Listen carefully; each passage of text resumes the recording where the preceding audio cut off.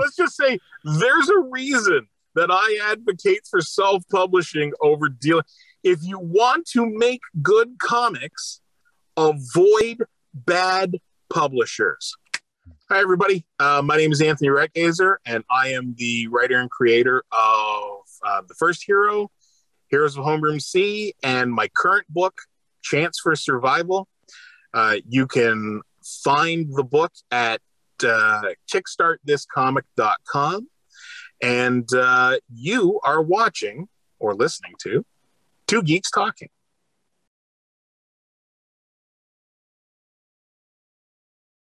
Good morning, afternoon, evening, everyone. Two Geeks Talking is an entertainment industry interview show where we interview the creative people from the comic, film, TV, movie, and video game industries. And of course, I'm your host, Kurt Sasso.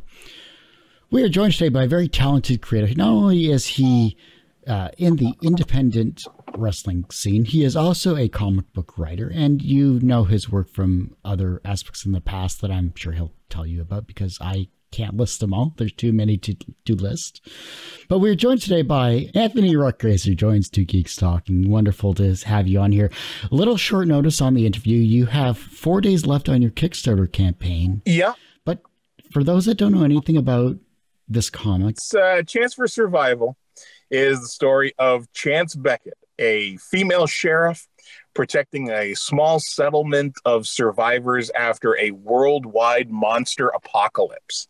Uh, so when she is not uh, busy leading her deputies to destroy uh, school bus sized kaiju that are roaming the Canadian prairies, uh, she's stopping fights between the settlers, between the survivors. So uh, it's drama and intrigue and action and just a little bit of sex.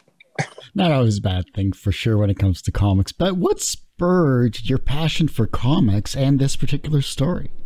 For comics in general, the first comic book I ever bought with my own money was Wolverine number one uh, when I was uh, 11 years old. You know, Claremont and Miller and Joe Rubinstein, the inker, who I just got to meet at Fan Expo Canada here in Toronto a few weeks ago, got to host a panel that he was on, uh, a sketch battle. It captured me right away. It was such a perfect medium. The limits were your imagination and your writing or artistic ability. Whatever you can think of, you can put on paper. And it just fascinated me with storytelling. I had fallen in love with the idea of sci-fi and fantasy and storytelling when my father took me to see uh, Star Wars in the summer of 77. Latching on the comic books a few years later was almost uh, impossible to avoid. For this story, I've had this script sitting on an iPad for about five years now. And a few months ago, working on other stuff during the pandemic and being, you know, home from work, you know, I've been I've been working on some graphic novel stuff, stuff that's going to go to book publishers, and I I realized it had been too long since I had put out a comic book, and there was no reason for me to not do that. Of the things that were written and sitting around and could quickly be uh, put into production, this was the one that I really loved the most. There's so much room for additional storytelling with this. There's so much room to to carry this on, and I want to do it one issue at a time. I do want it to continue. So um, we're going to get through this first story arc, however long it takes, with you know other other things in between, and uh, and then we'll see. And if it's going well, I'm I'm absolutely hoping to continue this in, in the long term. You know, Kickstarter is a second job, literally, or third in some cases, depending on how much effort you put into the promotion yeah. and social media aspect of it. You know, how have you avoided not only burnout, but what have you learned then from this particular campaign that has really helped you? Who says I've avoided burnout, Kurt? Uh,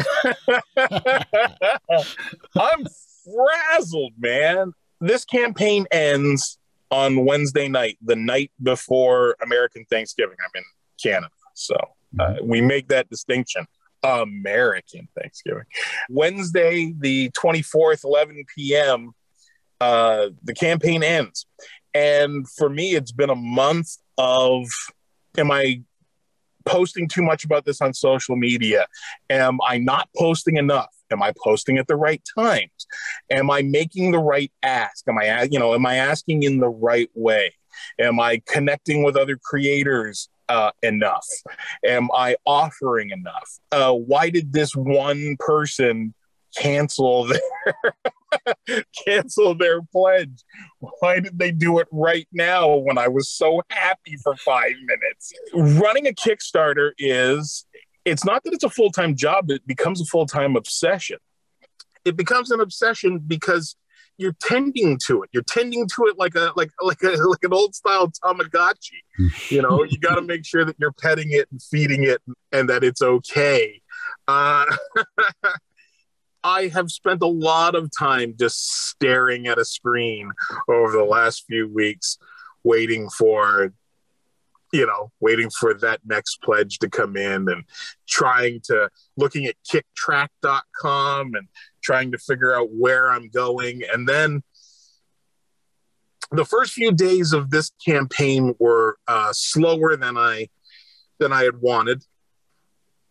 And so I ended up I started at 8 p.m. at night, which I think is a mistake. I think you, and I know the wisdom of it. I, I should have started during the day. Four or five days in, I, I went on a direct email campaign, a direct message campaign. Basically, sent direct messages, individual direct messages to everybody on my Facebook. So, you know, like well over a thousand direct messages hmm. had the single best day of the campaign after that, one of the top five days the day after that. You have to put in effort on these things. it, it is not a matter of just saying, it, you, you can't just put up the tent and expect hmm. the town to come to your circus. You have to be a circus barker. You have to stand on that pla- that that box with the megaphone in your hand and say, "Come one, come all." the greatest show on earth. Don't expect to be doing much else with your time during a, a Kickstarter campaign. You know, this is my fifth, so I knew that going in.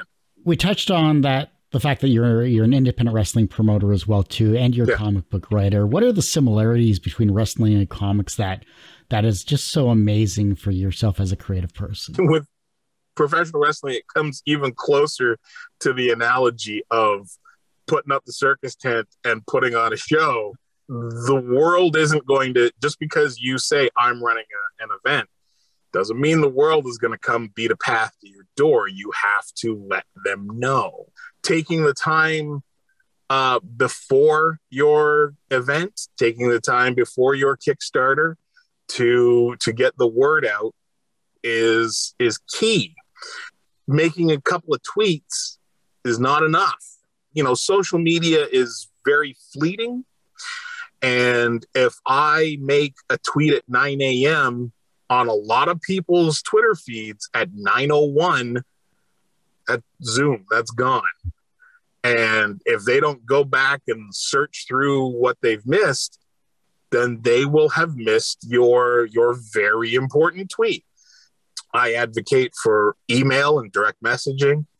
You have to do everything you can think of to maximize the exposure for uh, for your Kickstarter campaign, for your live event. Another similarity between uh, wrestling and doing a comic book Kickstarter would be the talent you book. Unless you have made a name for yourself, like if I'm if I'm Jimmy Palmiotti running a Kickstarter, or I am uh, Dan Mendoza, I know that I'm I've already built an audience. I'm a draw, so I I can recruit a creative team. It doesn't matter who I bring in, as long as I'm happy with their talent. With something like this for uh, for Kickstarter, one of the things that you'll see on a lot of Kickstarters is variant covers uh, you try to bring in some name talent as artists, people who will catch a viewer or a reader's eye, a potential backer's eye, so that they will, you know, they'll stop for a second and take a look at your stuff. With me, I've I've been lucky in you know in the years I've been in comics and the stuff I've done, I've managed to meet people and make good friends so that when it came time to do this book, Andy Belanger agreed to do a cover for me. Bill McKay agreed to do a cover for me. I decided pretty late in the game, uh, just before, I feel like maybe a week before the Kickstarter started, launched, that I wanted to do a cosplay cover. I had to search my, you know, my internal Rolodex, thought of my friend B. Dolly, who used to do, uh, she used to be an anchor on uh, the Naked News, does a lot of modeling, has an OnlyFans, is just, she's just great and is a huge nerd. And oh, yeah.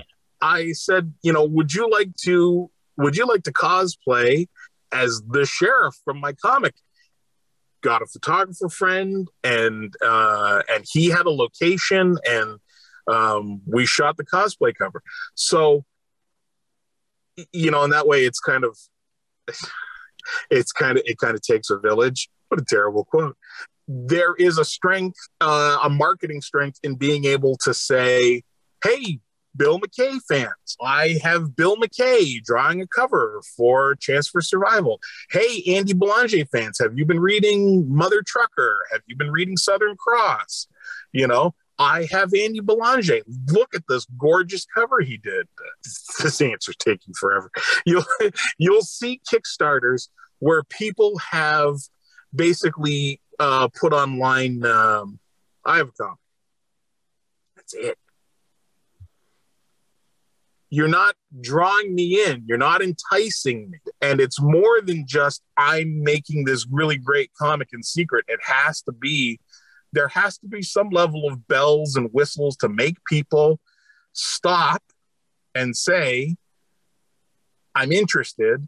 Let's see what you're selling me. In the at the end of the day a kickstarter is a pre-sale.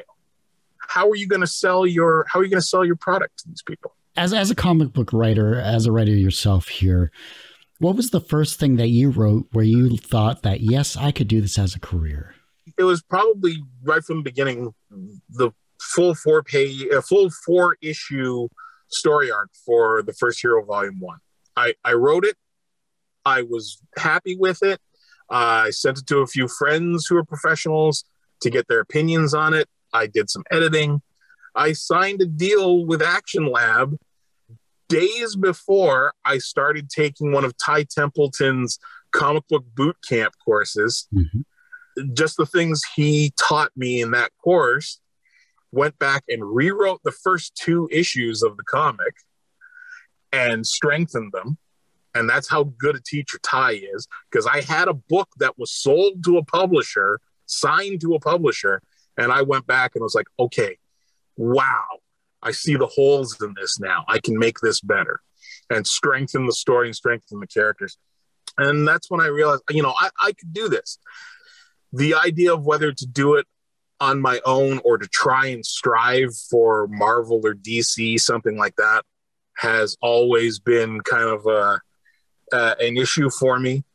I've had a few experiences, good and bad, that have made me think if they come calling, that's great. But in the meantime, I am going to I'm going to write the hell out of my own material. I'm going to write whatever I want to write with no middleman telling me that character's not available because of this or you have to fit into this other person's storyline.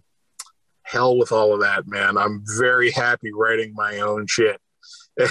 and yeah, I absolutely believe in a better answer for your question would be I wouldn't have even attempted to write the first hero if I didn't think I could do this competently and entertain people and do it full time. I wouldn't have attempted it if I wasn't confident in my ability right from the get go.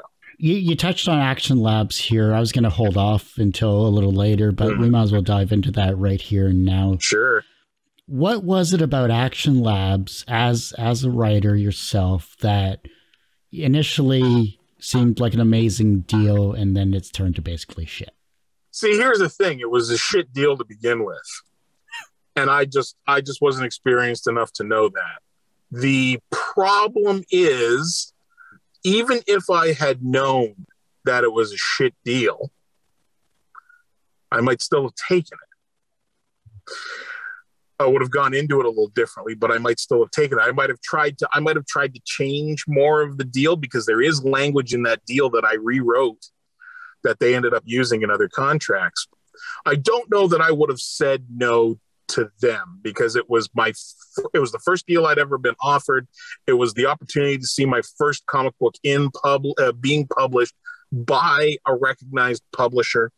I had gotten advice from a writer who was at uh, DC and Image at the time that I was shopping the book around, and he said, uh, "Self-publishing ain't publishing at all." And I, the rest of his advice had been so good that I that I took this advice as well and sought out, like, was determined to find, a, make a deal with a publisher.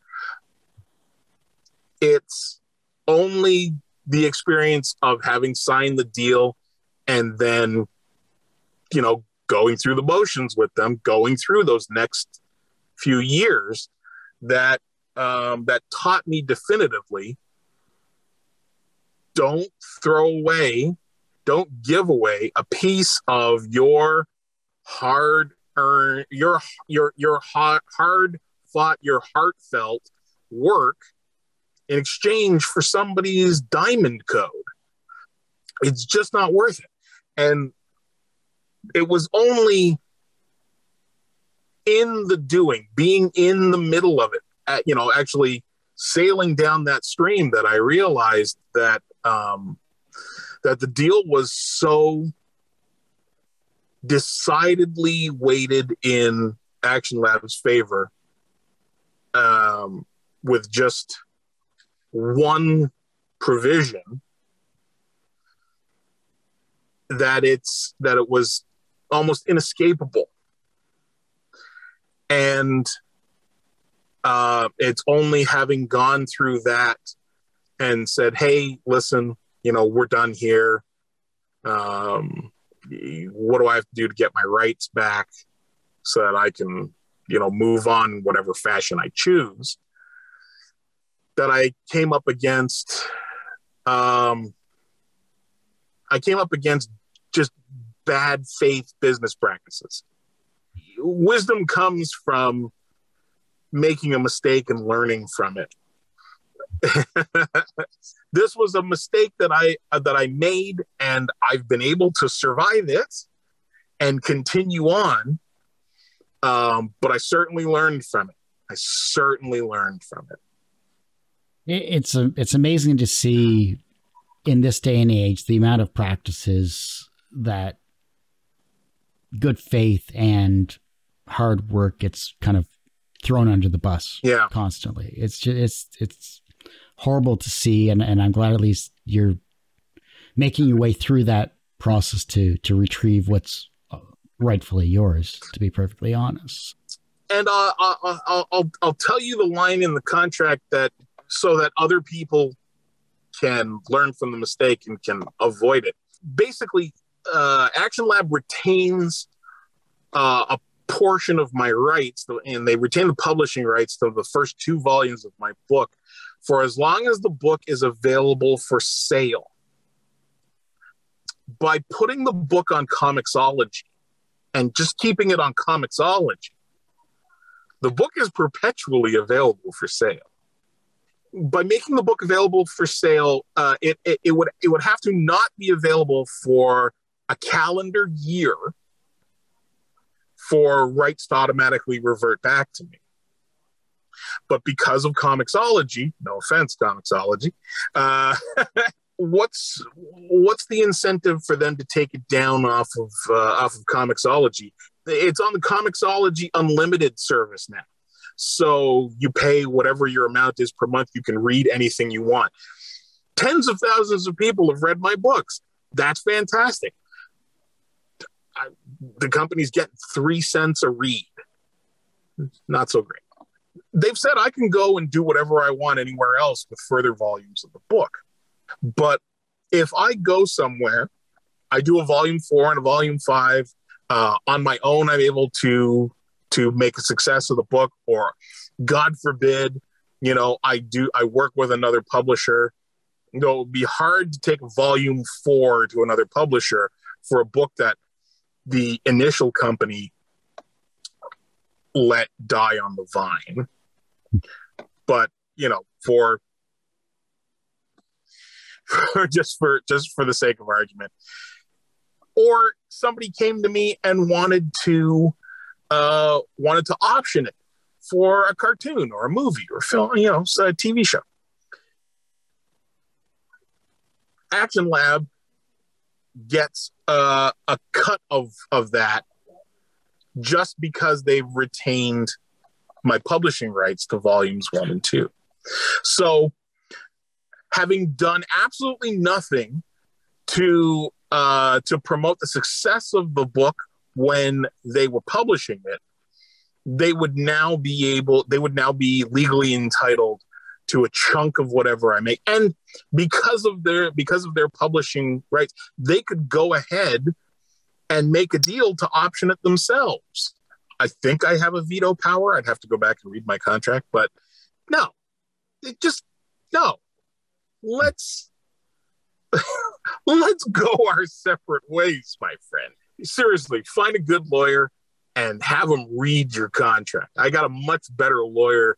I, I have, I have I have three really good lawyers now. The uh, the lawyer I used to go over the initial contract should really have caught this provision, but yeah, what are you gonna do? We're slowly wrapping up here. I do greatly appreciate your time here, yeah. Anthony, for sure. Uh, I, I appreciate you having me on the show. This is, I, you know, I have been very grateful to the podcasts and websites that have uh, given me the time of day during this Kickstarter. I hopefully I've had something to say that has entertained your viewers, and their viewers, and their readers. Um, but yes, I mean, much gratitude for this. Do you believe in writer's block? Absolutely. Absolutely. I've experienced a lot of it. the, the, the, the first, I don't know how long, eight months of the pandemic were torture for me. I was out of my life's rhythm. It was hard for me to put pen to paper or, you know, fingers to typewriter, fingers to keyboard. I had a lot of difficulty writing. Sometimes it's only being up against a deadline that makes me break out of that and just just get it done. Nameology is always an interesting concept when it comes to characters and, and creating your characters for your stories. Mm-hmm.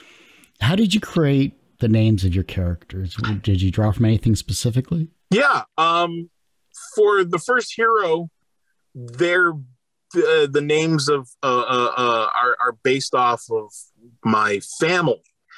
My grandfather was a traveling salesman in uh, in Newfoundland in the middle of the last century. You know, the last name Ruttgaizer was uh, you know a little difficult, so he became known as Johnny Ruth. And there are there are legends of Johnny Ruth, the traveling salesman in Newfoundland. That's how I came up with Jake Roth. I, na- I named his parents after my parents. For Chance for Survival, the character's name is Chance Beckett.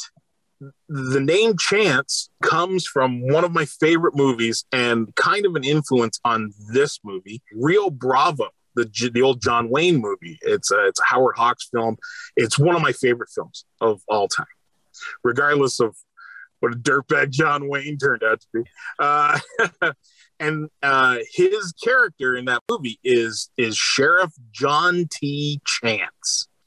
Rio Bravo might be the the starting point for the the entire comic is wanting to do something that felt like that felt like that movie and then introducing more and more elements to it. I think you know like the first real element that got introduced was monsters. My creative process and I've said this a couple of times to people recently, I uh, is a little like jazz, and it, it, it feels kind of highfalutin for me to say this, kind of uh, self important for me to say this, but I read a a biography of uh, Miles Davis, the jazz musician, a few years ago, and one of the things that I loved about this particular book was how versed the author was on um, music and Davis's creative technique.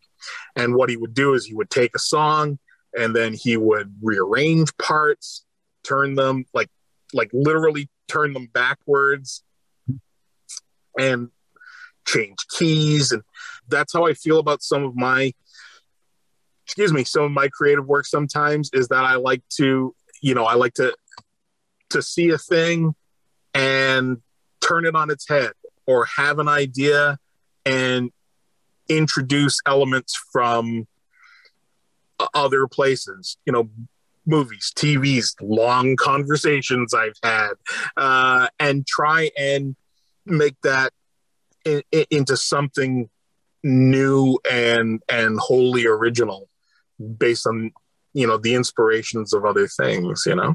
Yeah, so what was the hardest scene for you to write then uh, the hardest thing for me to write. Oh my. Sometimes it's not a matter of of difficult to write as a, as it is as difficult to get the ball rolling. Like I have to do a dialogue pass. Uh, I have to do a final dialogue pass for my letter for for Chance for Survival number one, and it's it's it's hurting my feelings to try and settle down and do it mostly because of you know the stress the anxiety of, of running the kickstarter right now. The the hardest thing for me to write i'll tell you what the hardest thing for me that i've ever tried to write was i was asked to do a uh, short story a backup feature for um, an issue of captain canuck what they were doing is they were reprinting the uh, the original 70s and 80s issues, and then they were adding new backup features, like just like they were doing with the old um, the the classic X Men series at one mm-hmm. point, where they were reprinting the ancient issues and adding new material to it in in, in the form of backup features. And I, I wrote a little story. It was hard for me to fit it into the six or eight pages that they were doing and then by the time I talked to them about it, um, they had canceled the series because because of how poorly it was doing. But Chapter House, Chapter House was another example. They've changed their name now. They're publishing under the name uh, Lev Gleason House. Yes, Lev hmm. Gleason House. And Lev Gleason was the creator of the original the original Daredevil, which is now in the public domain. That was a company that I had talked to about uh, publishing uh, Heroes of Homeroom C, we we did all our negotiations. I had my lawyer, my good lawyer, rewrite their gobbledygook gibberish contract. They agreed to everything. When we sat down to sign the deal, the publisher tried to change his own numbers on me. Uh, to which I said, "It was a pleasure talking to you. Goodbye." And then there was a really belligerent phone call he made to me, but hey, let's not let's not break that. let's let's just say there's a reason that I advocate for self-publishing over dealing. If you want to make good comics, avoid bad publishers. Everyone has one person that inspired them on their path to where they are today. Who was that for you? I would peg my original uh, inspiration as George Lucas. Um, seeing that first Star Wars film with my dad in 1977, that unlocked a lot of things for me. Um, so yeah, my my original inspiration to do any of this would probably be George Lucas. From a professional perspective, you have created comics, you have run many Kickstarter campaigns, you continue to be a creative person from a professional standpoint, not only in comics, but also in wrestling as well, too. Mm-hmm. Do you consider yourself personally successful? No. I have succeeded at things. There are things that I've wanted to do that I've accomplished. For me, the way I interpret personal, personally successful when I'm doing this full time as a living. And I haven't achieved that yet. And that's still a work in progress. And remember, I'm I am 50 years old right now. Okay. I was 43, 44 when I published my first comic book finally. There's no time limit on it. You're setting your race course, you're setting your own pace, you're, you know, whether you're sprinting or it's marathon, you're marching to the beat of your drum. So it has to be what you decide you want to accomplish. I haven't accomplished everything I want yet. So, not yet, but on my way. The reverse of success is failure. How do you deal with your failures? Learn something and move on. If you don't learn something from your failures, then how will you move on to success? If you if you attempt something and fail and don't learn from it, then you're not going to how are you going to be successful on your next attempt? I have had a Kickstarter fail. The kicks, the original Kickstarter for um, Heroes of Homeroom C failed. The goal was far too high, and it taught me valuable lessons. It also it also let me know that there were things that I didn't know. So I went out and sought that knowledge from other people who were more knowledgeable in running a crowdfunding uh, campaign than I was. You deal with mistakes by learning from them and improving on your technique. The younger generation is looking at your work and they're becoming inspired to be creative in their own way, whether it's as a writer, as a creative person, or whatever they would like to do creatively. How can they inspire the generation that follows them?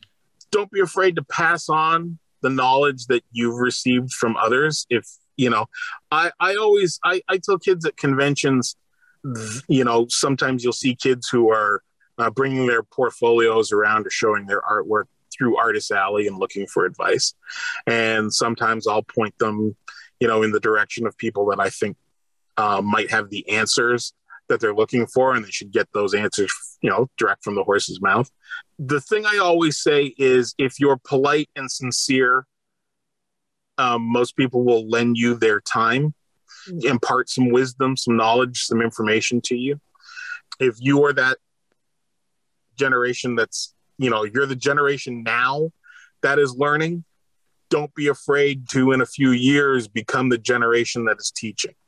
Don't be afraid to uh, impart your wisdom, your experience on the people coming up behind you.